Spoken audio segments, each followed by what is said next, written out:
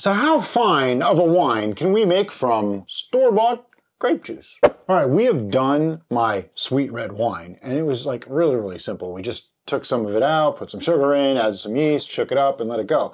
So let's find out what happens if we try to use all the best practices we can and flavor this properly to the standards of the wine industry or something. I don't know. I just came up with these standards. There's no there's no real standards here. The first thing we're gonna do is we're gonna find out what the gravity reading is of the juice itself.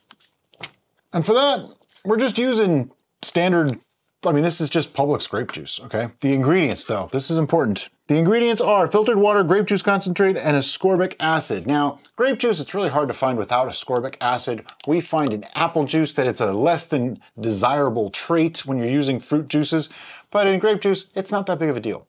Because uh, I think the grape is so much of a stronger flavor, it just doesn't really seem to be a factor. You might be saying, what do I need a reading on the juice for? Well, because I need to know how much sugar to add.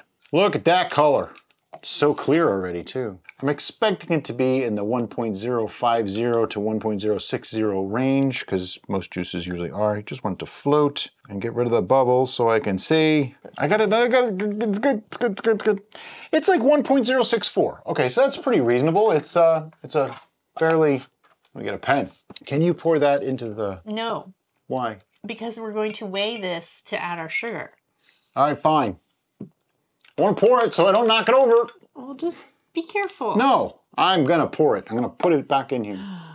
Better safe than have juice everywhere. Hey, it could happen. Let me put these back in the turbos. Yeah, because we're getting juice everywhere, see? All right, if you are concerned about juice, could you recap this? I will recap this because you asked me so nicely. Thank you. All right, so. All right, so the way we calculate this is Essentially, when you're making a wine or any brew, you want to have a target starting gravity. Okay, if you don't know what tar target starting gravity you should have, watch a few more videos, do a few other people's recipes, and that'll give you a better idea so that you can start on your own. For this one, I want about 1.100. So if I put 1.100 into the calculator that all my teachers said I would never have handy, it was in my pocket, and I subtract out 1.064, I get 0.036. Now, we know that sugar, plain old white sugar, adds 0.046 per pound in a gallon of must. Everything's a little bit approximate, but it gives an idea. So I'm going to divide that by 0.046, giving me 0.782. For my math, that's about three quarters of a pound of sugar. If you didn't understand that, I'll put an infographic up explaining all that again, but that's the gist of it. So I got three quarters of a pound of sugar to put in here, no problem.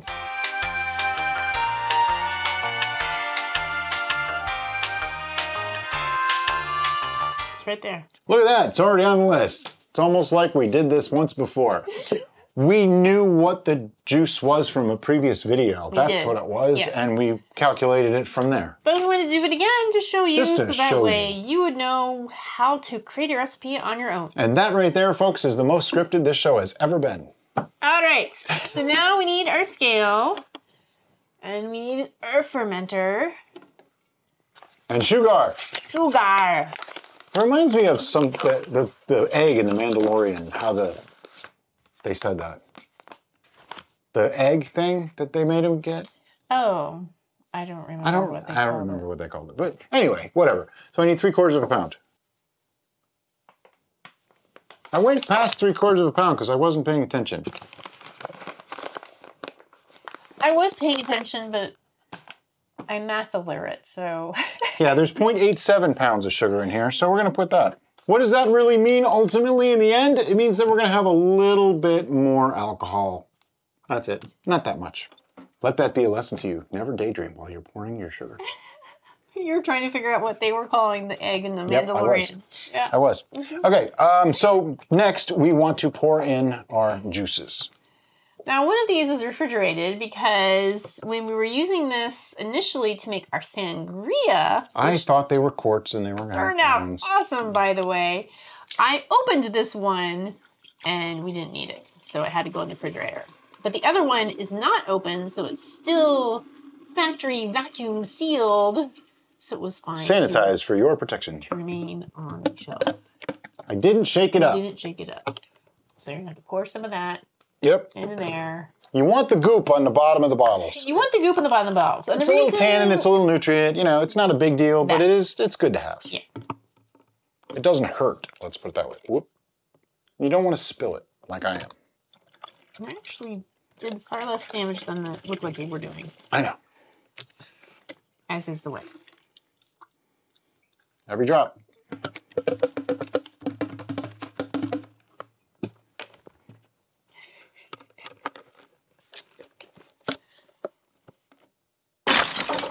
Okay, second one in. Did you shake that one? No. it's one of those days, folks. All right, this one didn't have any goop on the bottom. well, it was cold when you it, got- it cold Uh, crashed. Cold crashed. Yep. See? See? It works. Ooh. And the splash zone. By the way, I am intentionally not just pouring it to be silly and fancy. I'm intentionally getting extra air into this brew because you need that in the beginning phases of the colony building up for fermentation. After there's some alcohol being formed, no more air being added, okay? Otherwise, you make vinegar. A word about the sugar and the juice mix. You can just use the juice and make a totally fine wine that way. Just remember that ethanol is a flavor, so adding more alcohol to this not only ups the flavor, but it also makes it easier to preserve. Because the higher the ABV, the less likely something can live in it. So this should be somewhere in the 13 to 14% ABV range, meaning it's pretty well preserved for the long term. If the alcohol percentage in a potential brew is a little confusing to you, we have some videos on that explaining the differences between the ratio of fermentable sugars and the alcohol tolerance of your particular chosen yeast and how those correlate with each other to create a certain ABV. And you know what I need to do now? You need to stir it. which means I need my spoon of unusual size. All right. I need to cut this one still. And I just want to mix those sugars in because if I don't, I won't get an appropriate reading. I can feel them in the bottom. That's an advantage to using a glass container. I can feel the crunching and I know. People are asking all the time now, um, can they just use a, a plastic bucket? Can, you know, does it have to be done in a glass? No, we just prefer glass. Glass is cleaner. It uh, doesn't harbor bacteria and infectious type things as easily as plastic does. If you scratch plastic, it's much, much harder to get it clean and sanitized. It also, in most cases, create a better seal based on its. Yeah, a lot of the plastic buckets kind of, Yeah. they suck at making seals. They do. We actually have lots of plastic buckets, And they and, suck. and we just they're stored up in the top because we're just probably not going to use them. Plus, if you use glass, you can see what you're doing. You can see it working, you can see bubbles, you know, it's just more interesting. Fun for the whole family. Now, you'll notice I'm being rough with the stirring, but not so rough that it splashes everywhere because, you know, you want to make alcohol, not have to mop it up off the floor. So, I'm trying to get more air into this because this is a harder fermenter to try to pick up and uh, shake around. It just doesn't work real well. There are like the drill attachment things and all that. You can totally do that if you want to. I, I just never think to do it. All right, so it looks like our sugar is dissolved into the liquid. I'm not seeing any crunchies, but we are going to add some things. I'm going to keep our spoon here so we can continue to stir. Right, because this is a fancified This wine. is fancified, right? So the first thing we're going to Before add. we even get to that, let me talk about this for a second. There is nothing wrong with keeping it simple. There is nothing wrong with it at all. no, what our, we wanted to do simple though, red wine is actually one of our favorite it's recipes. one of our favorite recipes. I wanted to use all the extras and see, like, you know, because some of them are useful for this, okay? It's not like I'm just throwing things in to throw them in. I'm using them because each thing does a specific thing. If you are against using powders in your brews, just skip all this, and this is going to be a perfectly fine wine. You're going to want the yeast Yeah. that you'll want.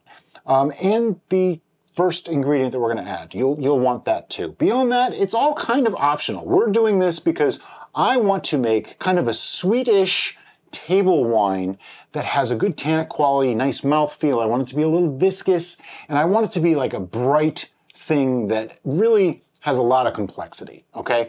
I know that wasn't the greatest explanation ever, but that's what I have in my head as to what I want. So that way, when you watch this video and like half an hour from now in the video when we're tasting it, you can remember, you'll see if I actually got it right or if I messed it all up. Wow, that was the most awkward statement I think I've ever made. Anyway, First off is Fermaid O. Fermaid O is a yeast nutrient. The O stands for organic, but will definitely be bountiful for our yeasts to ferment this brew without being stressed. So it's got vitamins and minerals in it that the yeast need. there you go. It gets their little yeasty bodies growing strong. And, and what are they going to do because of this? They're going to. Which one do you want me to say? you have a few. I just have it 2.5 grams and a little bit of water put in there. Uh, they're gonna.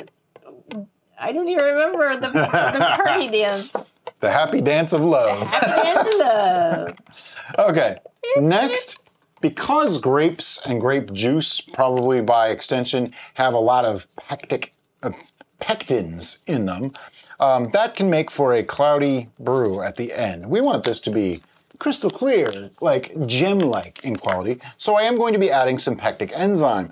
And if you put it in in the beginning of fermentation, use a half teaspoon per US gallon of juice. We used a gallon of juice, so I'm going to do a half teaspoon.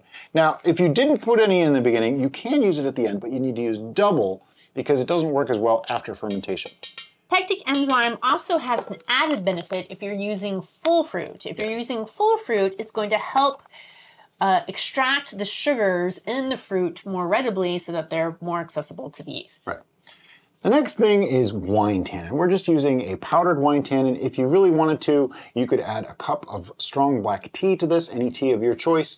Uh, the difference is consistency. If you do the tea the same way every time, you'll get the same amount of tannins from it.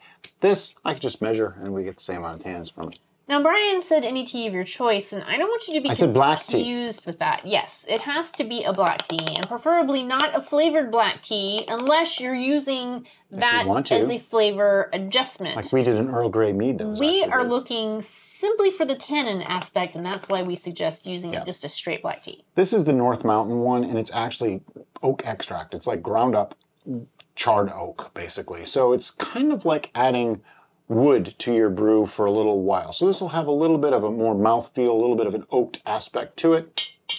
Half teaspoon. And then grapes can have kind of an odd, uh, they're like tart and sweet at the same time. I want this to have a little bit more of a brightness to it, uh, a little bit more lively, um, a little more spark on the tongue is an easy way to say it. So we're going to be adding acid blend. Now acid blend is just a mixture of the three different types of acids. I think that's all this is. Should be. It doesn't say. Of course they don't say. I know there's tartaric acid and a couple other acids in here. Um, it just gives a nice overall acidity rather than one specific type. And it says right here, one teaspoon per gallon increases the acidity by 0.1%. I'm to play it safe and just use a half teaspoon. You know why? Because it's easy to remember. So half teaspoon. We can add more later should we decide we want more.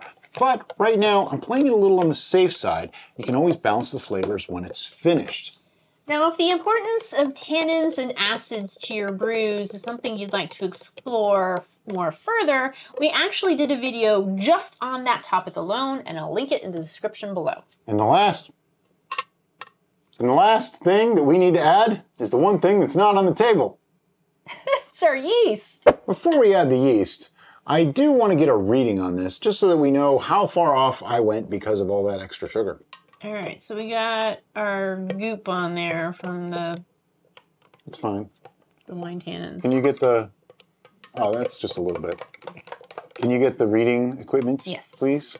And as always, we're going to be using a hydrometer with a graduated cylinder and the master baster, also known as a turkey baster that just works really, really well. And we're going to grab a sample and put it into our cylinder. I'm expecting that it's a little higher than I wanted it to be. Probably like a 1.120, which might make this come out just a little bit on the sweeter side, which is not a bad thing. If it's too strong, like if it's too high, I can just easily, I can just easily add some water to it. But what do you know? 1.100. I don't know how that happened because it probably shouldn't be, but it's actually 1.098. Huh? I put in too much sugar, but I didn't put in that much too much sugar. And actually, my calculations called for 0.78 pounds of sugar. I have 0.87, so yeah, figure that one out. All right, so 1.096. In case I didn't say that already, two, four, six, yeah, 1.096. That's gonna give us somewhere in the 13% range, which we're going to be using a yeast that is capable of as high as 17.55% in our experience. but it is actually rated for, I think, 13 to 15, 14 or 15, something like that. And that yeast is Lalvin 71 Beast. also known as 71B 1122 or something like that. But that, this package doesn't actually say that. So, Derica, why are we using 71B? We are using Lalvin 71B because Lalvin 71B has been isolated and selected by the INRA, something of France, for its ability to produce a high level of esters, allowing it to reinforce the aromatic profile of wines fermented from neutral varieties. Lalvin 71B has the capacity to absorb polyphenolic compounds on a cellular wall, which limits tannin structure of young and fresh red wine. Grape must inoculated with Lalvin 71B will easily go through malolactic fermentation as 20 to 40% of malolactic can be metabolized by this yeast strain during primary fermentation. Lalvin 71B is perfect choice for creating young, fresh, and fruity red, rosé, and white wines that are easy to drink. It is also a good choice for late harvest wines. Thank you for that. Okay, so, whole packet. Look at this. It's terrible. It's a terrible packet. If you don't get that joke, watch some of our other videos where we use Red Star. Anyway, so I'm going to use the whole packet. Can you use a partial packet? Of course you can. If you don't want to use, what am I doing now? back your packet. Yeah, if you don't do that, some get stuck. Um, Julie said that she doesn't like to tear them because yeast gets stuck in the, the, the tear. Yeah. Maybe she's a terrible terror. Did you get stuff? I didn't get anything stuck in there. We've got it stuck before. But I don't think it's like I a- understand it's you, not a- Julie. I I get it. I I just don't think it's a huge issue. I'd much rather be able to go than have to get scissors, and I'll deal with a couple of yeasts not fulfilling their destiny. Okay, what are we gonna do now? Uh, we're gonna Lid. put the lid on in the airlock. I was trying to fool her, see if she knew. Tighten that sucker down. And what are we gonna do with it now? We're gonna let it sit. I'm gonna put it in the fermentation station, which just happens to be a shelf in a shelving unit that we have cardboard blocking it all off so that the cats can't get to it. It's out of direct sunlight and that sort of thing. It'll maintain a constant temperature of somewhere between 72 and 76 degrees Fahrenheit. I'll put the Celsius in here because I don't know it off the top of my head. And we're gonna let this finish fermentation. What that means is when that airlock starts to show no activity at all, we'll come back and show you a reading. But one thing that's very important, a lot of people are starting to ask, I just put this together an hour ago and it hasn't started up yet. Should I be worried? No. Well, no, an hour is not nearly enough time. Yeast can take up to 72 hours, even sometimes four days, to start up fermentation properly. Don't let that bother you. If, however, after two to three days you're still seeing zero activity, check your seals, make sure everything's sealed up. Look for little tiny bubbles coming up the sides. If you see that, it's already started, don't worry. If none of that is happening yet, try raising the temperature in your home. No more, or, or even around it, like a heating mat or, you know, a heating Give it a pad. blinky. You don't want to go past like that, you know, 75, 80 degree mark Fahrenheit, but get it up into the 70s, and most times it'll start to kick off. Um, the other thing, Is if you don't have this much headspace, which means the layer of empty space between the top of your brew and your lid, then you may want to put this brand new fermentation on a cookie tray With a lip. with a lip, so that way if it gets contain the mess. excited and Now, the, ferments out of your airlock, you can the little it. Big Mouth bubblers are great for this because there is actually like a whole tray in here, which is meant for their internal airlock that doesn't really work. Don't use it. Use one of these. Um, but there's like a, a reservoir here, so it takes a lot for them to overflow. Like this would have to go all the way through and all the way up and all the way out and fill all this and then pour over. We've had it happen, so don't say it can't. But it, these are a little bit harder. Some of the other fermenters, it's really easy to get an overflow. If you find that it's way too aggressive in the first few hours or a couple of days, you can always put a blow off tube. We do have videos on those too, but essentially it's just stick a tube into your uh, bung here, just a piece of tubing like from your, your auto siphon, and put that into a mason jar or a larger container filled with water, sanitizer fluid, and let that go for like the first day or so. That way it has a clearer path to get out and it won't overflow and make a mess or possibly stop up your airlock and shoot it off into your ceiling, as we've heard from some people having that happen. But for now, like she said, we're just gonna let this sit and we'll see in a couple weeks to let you know how it's doing. Okay, it's been like two weeks. Time to take a look at this and see how it's doing. Airlock activity was slow to a crawl, if anything at all, so, you know, time to take a look. We do give things a little bit of a swirl now and then, nothing too major. You don't have to, but we do it just to degas a little bit, move things around. Olfactory and optical inspection smells wonderful. It really does. Smells like my cheap red wine. Let's take a sample, see how it did. Now we used Lalvin 71B for this, which we used it for everything for a long time because it was very reliable for us. And we stopped using it only because people kept asking, how come we use 71B for everything? So I'm starting to see why we used it for everything. Because it it works. Look at that. Um, yeah, I'm gonna say 71B did the trick. 0.996. Now, is this done? Most likely. We're gonna let it sit for another week anyway, because that's what you should do, just to be on the safe side. But we did sanitize everything, so let me just take this out of here. So I am gonna pour the sample back in very gently. Can we? Yeah, we're just gonna tilt slightly and pour it like down the side so as to not cause even a bare ripple in the brew. Put the lid back on. Now you might be wondering, it's at 0.996. Why are you letting it sit longer? Well, for one, we have a busy film day today. I really wasn't prepared to rack this yet. And two, we always like to wait a week in between. Even if this, I doubt it, but even if this moved a couple more points, that could make a difference. So I'd rather just play it safe and leave it. It also proves you don't have to rack things right away. But just for the heck of it, let's find out where we're at. So we start at 1.096. We are now at 0.996. I don't even need a calculator for this one. It's 13.5%. Beautiful. That is pretty much exactly where we want this to be. But it's not done yet, so we'll see in a week. This is set for a couple of days. I didn't want to let it go too long because, you know, we want to get moving on this. It could just sit forever if we really wanted to, but it was at 0.996. I mean, how much further is it really going to go? It's probably done. But for the sake of thoroughness and consistency, and because we tell everybody else to, we're going to take our second reading and make sure that it's really completely done. It smells really good though. But I happen to like Concord grape wine. Um, I know it's not Derica's favorite.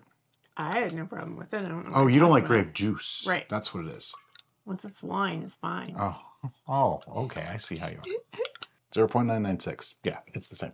Okay, so it is, gotta find a pen. Very particular about my pens. Some of them don't write well on certain surfaces. So this is 13.5%. Cool. It's also done. So what does that mean? It's time to rack. Yep, we're gonna move this off of the lees and the sediment that it's produced and put it into a whole other container. All right, so racking. What do we use for racking? We use an auto siphon. Why do we use an auto siphon, Brian? Why are you throwing it back at me for? we use an auto siphon because A, it's easy, B, it's inexpensive, and C, it's very efficient. Meaning it keeps out of the brew what you don't want in the brew, and it keeps in the brew what you want in the brew, and it doesn't make a mess in the process. As you can tell by all the liquid that I'm spraying all over the kitchen, this has been sanitized. Yeah, everything that we use has been sanitized. Now we're leaving the cap on the end. This is not really just a dust cover. It, it actually serves a purpose. It keeps it from going too far into that sediment, so that way you don't suck up too much gunk. That's the technical term. Put the rack-er, no, rack racky, yeah. the, the destination. The destination lower, than, the source. there. Make sure that your hose is in the destination. And you want it to be all the way towards the bottom. Yeah, you don't want to splash. But not completely submerged against the side, Right. because then you're going to cause a mess. And then I go about halfway in and just get it going. And I'll hold it to the side um, rather than let it go all the way down because if you hit the stuff in the bottom, it sometimes spurts up and makes a mess and you suck up more goop than you really want. Basically, just pay attention to what you're doing. Mhm. Just be careful. It takes a little bit of practice, a little bit of experience, and a little bit of attention, which I sometimes am lacking in. And uh, you can get a nice clean product with minimal loss. There's always a little bit of loss when you rack, always, because you're getting rid of something from the brew. I mean, it's just the way it is. The more liquid you have in there means the sloppier you were at racking. That's really all it comes down to. Or the more fluffy and light and wispy the particles were, which that happens too. And this is something that comes up when you read information packets on yeast types. They will talk about their flocculation. And flocculation means their ability to fall out of suspension and create a nice yeast cake at the bottom.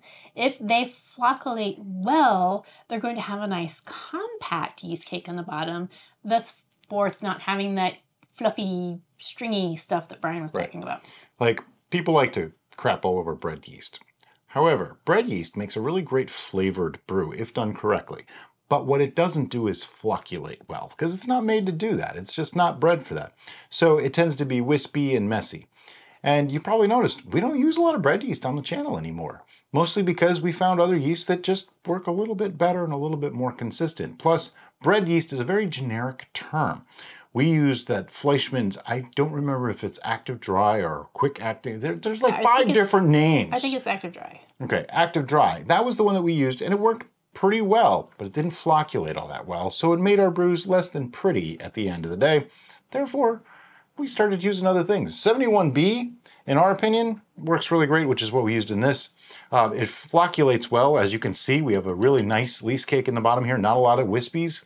The brew is staying nice and clear, even as I, you know, talk and bounce it around a little bit while I'm racking. But it also keeps it from making a mess. That's the key. And as far as alcohol tolerance rate, it's um, it's up there. It's it's pretty darn close to We're getting full. yeah, we're getting full. Okay, well we're just gonna have to drink some of this then, I guess. Uh oh. Um, wow, we really are getting full. Yeah. This happens sometimes. Okay, what I need now is something to put all this wine in so that we don't get rid of it. A pitcher? Um, Are we gonna drink it right now? Probably. Okay. Gonna have to. Oh, woe is us. This may take some time. This is how to not waste anything. See, this vessel was a little bit too small. We did, we probably could have gone with a larger vessel, but we have plans. That's why I used a slightly larger vessel. And I'm, I'm just gonna, gonna, put this on here Yeah. just for safety. I'm just gonna use the master baster.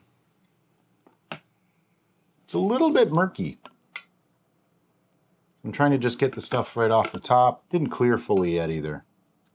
I think just the process of basting, it's sucking Yeah. the well, they both suck, It's but disturbing. That's about as far as I dare go. But what we ended up getting out of that is about eight more ounces, okay? Eight ounces is uh, two glasses of wine. So, you know, that's one way to not waste as much. When you get close to the bottom, use a baster to suck up a little bit at a time. Don't be sloppy like I did. Made a bit of a mess. But hey, you know, where's the glass? in the cabinet. We're gonna do some sampling while we do the rest. There's my wine glass, first one I grabbed. So since we got a little babbly during our racking, I'd like to continue that babble if if it suits you. And the synopsis on yeast and what yeast to use, we are thoroughly aware that we're we have an international audience and therefore certain items that we use on this show like particular yeast strains you may or may not have access Right. to so the best yeast to use is basically the yeast you can get That said, I would like to make it clear that different yeasts do different things and can cause different flavors in your brew. A lot of brewers will tend to get down to two, three, or four different yeasts that they like to use and they're used to using, and they know what to expect from them, and that's as far as they go. And there's nothing wrong with that. We tend to be like that too. By the way, that's really good, even dry. Um, but there's nothing wrong with experimenting too. Just know that every yeast is going to create its own unique flavor components and esters, but they're all going to be within a certain realm of normality, okay? Which means like from the most distant to the closest, they're not going to make your brew taste completely different. There'll be slightly different flavors, slightly different esters, and that's something that comes with experience and time. Um, Sure, side by side, you're going to be able to notice a difference, but in reality, you taste this today and taste a different one with a different yeast in a couple weeks, you might remember, oh yeah, that's a little bit different. But it's not like, a, oh, this one's horrible and this is amazing. You're not going to get an 11 and a 1 with different yeast. Yeah, it's just not like going to be that much on a on a theme. theme. Yes, exactly. This is actually quite nice. Maybe we don't have to sweeten it as much as I thought.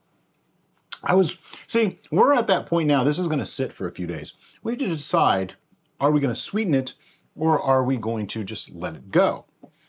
I know I'm being very silent on my opinion of this, and that's because we just finished a tasting of a coffee mill, which is very strong in flavor. Yeah.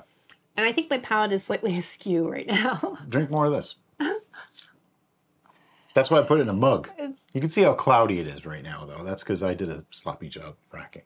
But I didn't want to waste it. It's got a really nice fruity flavor. Um, and I, I'm really liking the, like, we added some wine tannin acid blend Fermaid O. It's got all those components. Like, there's a good acid bite to it, but it's not overly done. The tannic aspect, I think it could use a little bit more tannin, and we have plans for that. right in my face. There. It was in her face. It's not good to film when things are right in front of your face. Um, so you know, all those aspects are working really, really well. I don't know. I'm I'm torn as to whether this needs sweetness or not. I think it needs to sit longer before I can make a a Well, it's going to. decision. We're just babbling because it's what we do. Yeah. All right. So what we're gonna do now? We're gonna put a note. Yeah, I just put a note that I racked it and put the label back on. It's gonna go back in the fermentation station. It's gonna sit for like a week and see if it clears out a little bit more, settle down some of the uh, sediment that I stirred up in the racking process. And we'll be back to show you what to do next. Okay, just to sum you guys up and catch you up to speed, this was started on March 22nd. Today is April 11th, so we're looking at like three weeks or so to this point, just to give you a rough idea. People are always saying, oh, how do you get your stuff to ferment so fast? Well, I think it's because we live in Florida and things are warm, so that could be a part of it. But what we're gonna do now, it's already been racked, okay? It's stable, we know nothing's gonna happen. Today, we're going to rack it to a pitcher and we're going to taste it for final sweetening and adjustments, okay? So, racking, you've seen us do it a million times. We got videos on it. We're just gonna do it. But there shouldn't be much in the bottom, so I am going to take the cap off. And before anybody asks, yes, everything was sanitized, including my hands. So everything is safe. We are racked. Now it is time to taste. And initial taste is always just going to be as it is, no changes, no alterations, just to see what it's like. I will say it smells very nice, especially for something this young.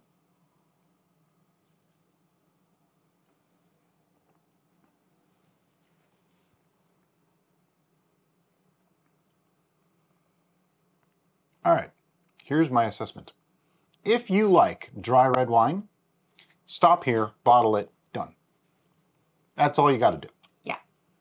It's it's very good right now. It has a delicious flavor. It has a lovely mouth profile. It's it has all the things that you want in a non-varietal wine. Yeah. Because remember, this is just was This Concord, is Concord. So This does not taste like a Concord grape wine anymore. no. It it definitely tastes a like a finer version of itself, which is kind of cool because all we really did was add some wine tannin and acid blend to it. The acidity level is beautiful. The tannic aspect fills your mouth. To me, if I was going to enjoy this, I want it sweeter. But like I said, if you like it dry, you can skip over the sweetening aspect and not worry about it.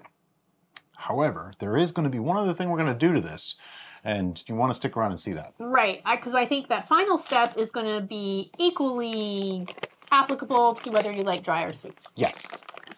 But I want it a little sweeter, so I'm gonna add some sugar.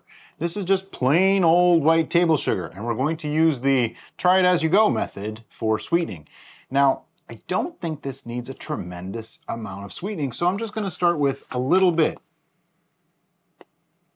Maybe quarter pound, if that. I don't even think that was a quarter pound. It's probably like half a cup. I don't really measure on purpose. And I'm gonna mix this up. Yes, it was sanitized. Notice I cut it. If you don't mix it up at this stage, you're not going to get a true idea of how sweet it is, and you might end up with something that's too sweet because it didn't get fully mixed in. Now, one caveat to doing this, we added real fermentable sugar to something that still has yeast in it that probably hasn't reached the tolerance, nope, it hasn't, it was 71B, has not reached the tolerance of said yeast. Therefore, what can happen? Well, it can re-ferment. So we definitely want to pasteurize this or stabilize it in some way. Our, our preferred method obviously is pasteurization, which we will get into in a little bit. When you're stirring like this to mix sugar in, you really don't want to disturb it much. You don't want to oxidize. You don't want to take many chances. Is there always a risk? Of course there is. There's a risk every time you take the lid off. There's a risk every time a breeze goes through your front door. But don't let that risk stop you from doing things. Okay. So, like in this case, we've opened this very infrequently. We've taken very little chances with it. It's probably still got a good amount of gas in it because we didn't degas. So, I'm not as concerned about this kind of stirring that barely breaks the surface. But now I don't hear any more granules. So, I think I'm done mixing. That is one of the benefits of back sweetening with sugar is that it's it's a granule. So when you're stirring, you can feel and hear the crunchiness on the bottom. So you don't need a visual to tell you if it's done. You can use all your senses to tell you if it's been incorporated thoroughly. Many of you may be surprised by this, but it smells exactly the same.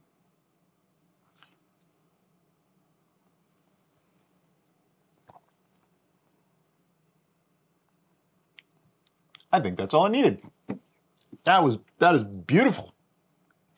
Um, before we get to the next stage, I would like to take a reading so that we can tell them exactly what that final gravity is. Yep. So let's take a, a note that we racked it and we back sweetened it, and I will get the the hydrometer stuff out. Okie doke. So you might be wondering why we're going to take a reading now and why I didn't measure the sugar. It's because if I had said I'm going to use X amount of sugar, but what if we had 128 ounces, 120 ounces, 110 ounces?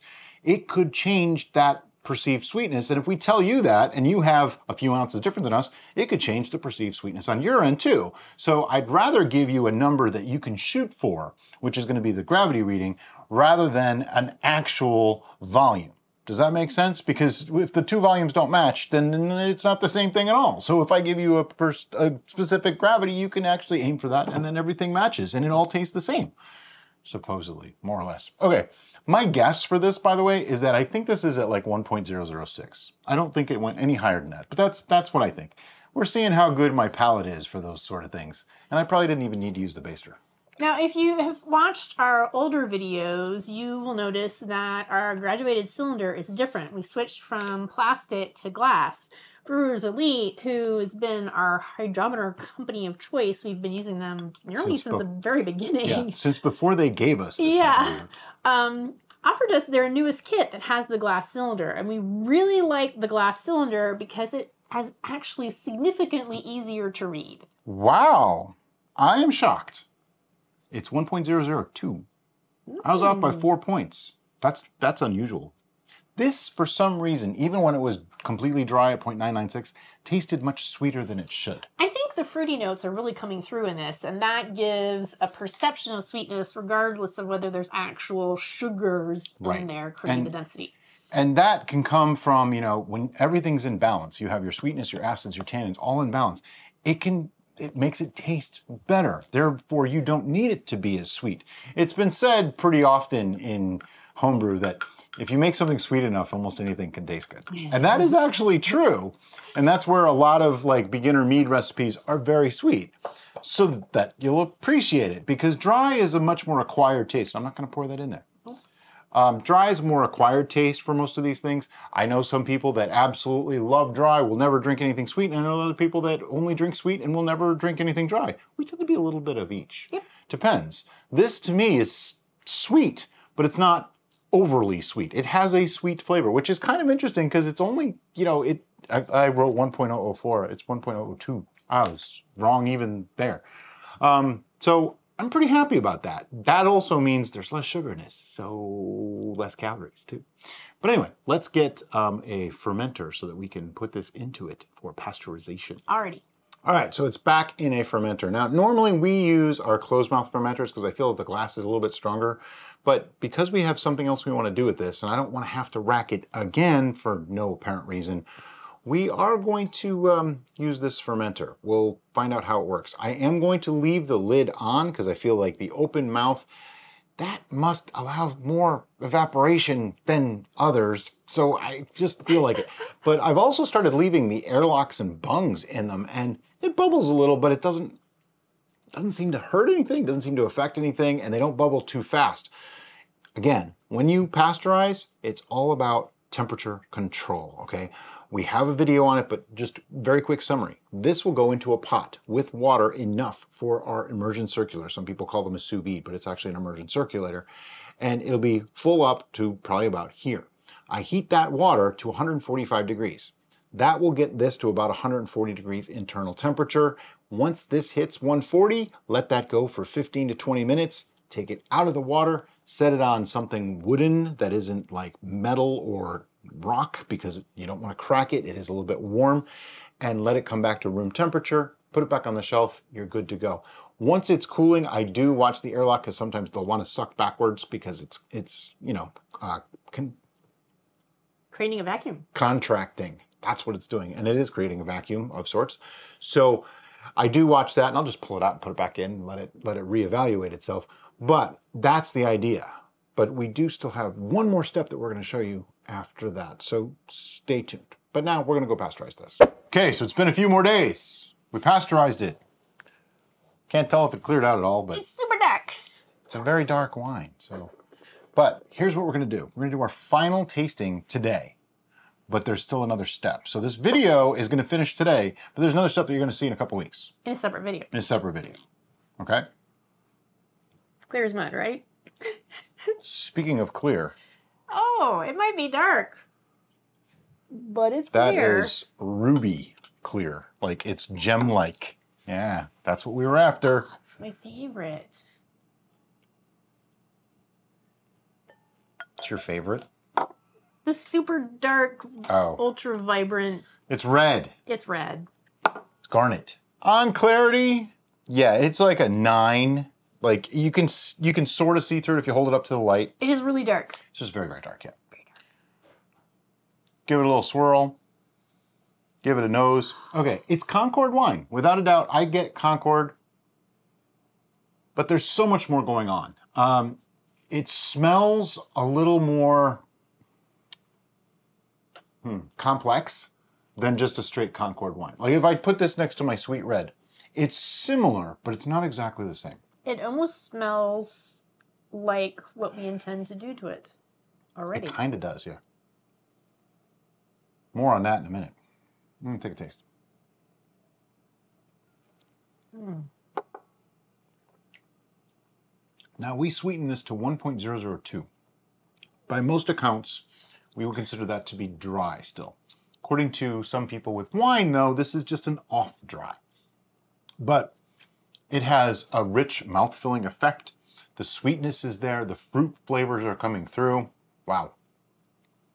The first thing I notice about it is the mouthfeel. It has this beautiful, velvety, just kind of gets in there and gets all your taste buds excited and ready to go. It's rich and coating. Yeah. Um, the fruit flavor really comes through, and I'm even getting like some of the other spices that I get sometimes from a grape, and that's like a cinnamon. There's a, almost a touch of a clove feeling, but it's not really like clove flavor. It's just like the feeling of clove, and that is probably the combination of the fruit and the ethanol playing off each other, making me think that that's what I'm tasting. Yeah. Um, but I definitely get like a even a dark cherry note, dark fruit, not just the grape. It doesn't Even just taste like grape. plum, kind of. Yeah. Plums, um, even like almost a dried fruit flavoring. Um, that smokiness coming through. Yep.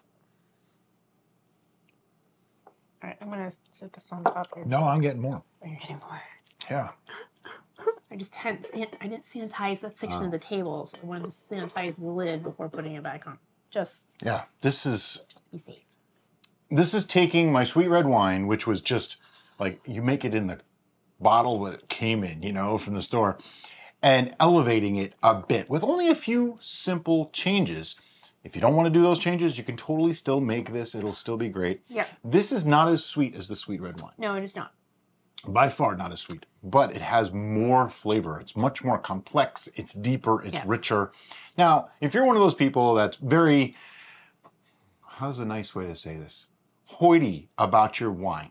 If you're very specific, you may not like this. If you're somebody that's a little more open minded and willing to try new things, you may find that this is actually a nice experience for a wine. I would say this is a very nice table wine. Sure, sure. And if you had the ability to get your hands on a varietal grape juice rather than just Concord grape juice, Yeah, you'd make a you really could nice follow version. a very similar recipe and come up with something. Kind of like when we did the Merlot. Yes, Similar yes. concept. And that's the Merlot kind of produced this.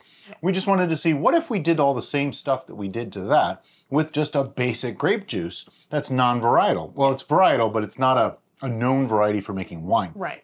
And honestly, it comes out really nice. And the beautiful part about this is if you like your wine sweet, you can sweeten it. If you want it dry, we let it go dry. So you have that option still. And that I just like that. Customization. You know, be like Burger King. Brew it your way. It's funny. Recently, we've been really enjoying wine on ice, and I know for some of you, that's Mm. Yeah, probably just the worst thing I could say We're just ever. lazy. But I think it's because typically when we drink wine, we pair it with food, and the food is really hot, and having the contrast of something chilled is is pleasant. And particularly our sangria, that's just so potent flavor wise that the the chilling effect really doesn't hinder This would be very good on or take down the flavor. But this is room temperature that we're tasting it, and I am enjoying it Yeah, I think this is great. just as as much as I am the the, the uh, chilled versions. So When I really think about it, I get cherry, plum, moderate Concord grape flavor.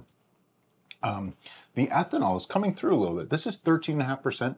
I do taste the ethanol flavor, and I think that's a nice balancing act in this one. Yeah. There's a really lovely tannic component that makes your mouth kind of pucker just just a little tiny bit. You know it's there, but it makes you feel like it's very thick.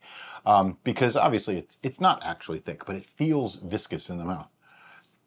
I, I think we succeeded. I mean, I I can't imagine how. Oh, wait, I can't imagine one thing that we might be able to do to this. But as it is right now, we need to put a score on it. we do. Okay. I, I have a number. Do you have a number? I do as well. One, two, three, ten. It's a 10. I know what we're going to do to it next, but to me it's still a 10. This is this is beautiful. This is wonderful. Yeah, and, and I cheated. I gave it a nine because I do know what we're going to do it next. Yeah. Do next. So she wants to leave room for the 10. I, I want to leave that with Laura. I, I'm leaving room for an 11. All I- that's how I'm seeing it. that's that's fair. I'm okay with that. Well, our sweet red wine was one of my top fi- five favorites last time we did this. This, I think, knocks the sweet red wine out. This took its place. It's just It's- that little bit better. It's just a little, eh, eh, just a little. eh, You know? Now, those of you that haven't figured it out yet, that thing that we're going to do, we're going to add some wood to it.